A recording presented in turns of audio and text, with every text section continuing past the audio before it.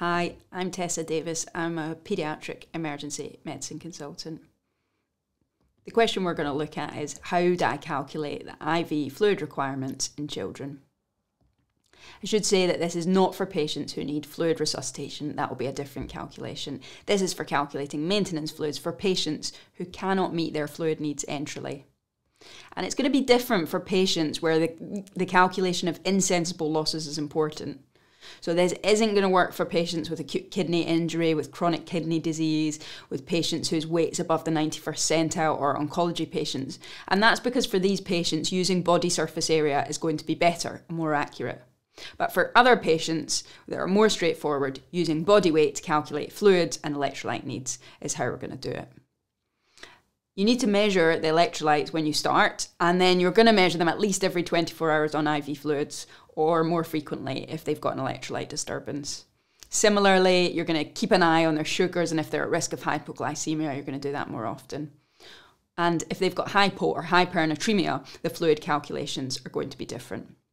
And finally, we're not talking about neonates. So this is going to be for children over one month who can't meet their enteral requirements, and you need to calculate their fluid maintenance.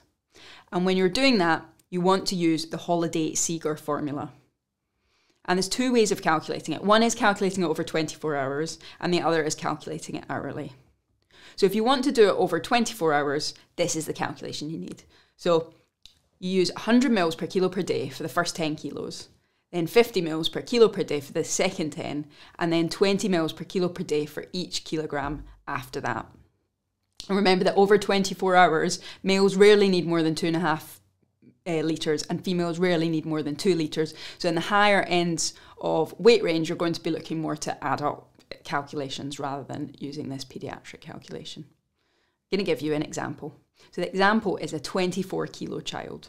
So if we use this Holliday Segar formula, for the first uh, 10 kilos, we're going to use 100 mils per kilo. So that will be a litre of fluids. For the second 10 kilos, you're going to use 50 mils per kilo, and that'll be another 500 mils. And then for the last four kilos, you're going to use 20 mils per kilo, and that'll be another 80 mils. So if you add all of these up together, the 1000 plus 500 plus 80, you're going to get 1580 mils over 24 hours. And if you divide that by 24, you're going to get 65.8, which is going to be 66 mils per hour that you'll be prescribing this patient for their fluid requirements.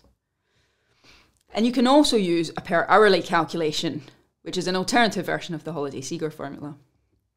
For this, use 4 mils per kilo per hour for the first 10, then 2 mils per kilo per hour for the next 10, and then 1 mils per, 1 mil per kilo per hour for the next 40. And again, when you're getting to over 60 kilos, you're likely to be using 100 mils per hour for patients.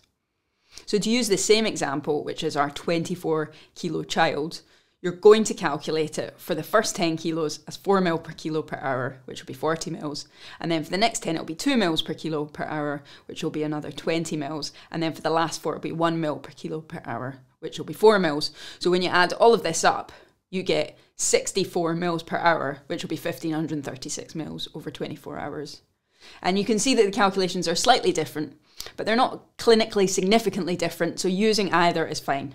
My personal practice is to use the 24 hourly one and divide by 24, but I think that's probably just because it's the way I've been taught, and I can see that it is much easier for some people just to use the hourly calculation, and that's completely fine.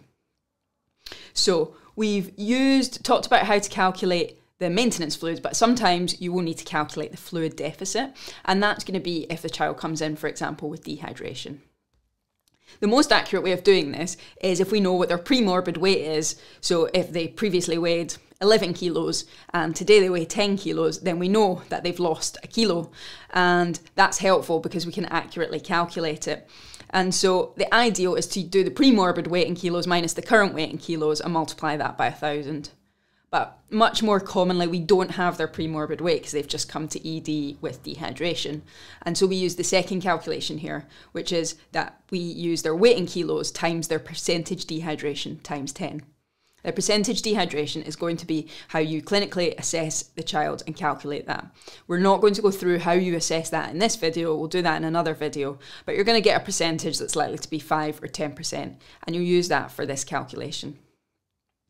So in the example we gave, which was the 24 kilo child, if we say that that child's got 10% dehydration, then you're going to calculate the fluid deficit by doing 24 times 10, his percentage dehydration, times another 10. So the fluid deficit in this child is going to be 2,400 mils. And this deficit is going to be replaced over 24 or 48 hours. So if you wanted to replace this 2.4 litres over 24 hours, you're going to be giving them 100 mils per hour. Remember that that's just the deficit. So you have to replace add the maintenance fluids as well. So if their deficit's 100 mils per hour and we worked out previously that their maintenance fluid's 66 mils per hour, then giving their maintenance plus their deficit replaced over 24 hours is going to be 166 mil per hour for this child. So we know now how to calculate the maintenance and how to calculate the deficit. And finally, I'm going to give you my three top tips. So, the first top tip is to use the right fluids. So, you should be using isotonic crystalloids and you should be using something that contains 131 to 154 millimoles per litre. As standard, we use normal saline, so 0.9% saline and 5% dex. That contains 154 millimoles per litre. You could also use Plasma-Lyte and Hartmann's, but most commonly we use 0.9% saline and 5% dex. My second tip is to consider the risk of water retention. So, if you've got a child with a risk of water retention associated with non osmotic ADH secretion, then you might want to consider whether you really want to give them full maintenance fluids or whether you want to restrict it. So, for example, in the child we calculated needed 66 mils per hour for full maintenance, you might want to restrict it to two thirds, so 44 mils per hour. That might apply to acute CNS conditions. So, in children with meningitis, with tumours or head injuries, it might apply to some pulmonary conditions, so pneumonia or children with mechanical ventilation. So, it, make sure you think about does this child need full maintenance or should I be giving less? And the final tip is to think about electrolytes. So usually we'll add potassium once we know that the patient's got normal electrolytes and renal function, and the standard is 20 millimoles per litre. But you can adjust this depending on what the results you get back from your electrolytes.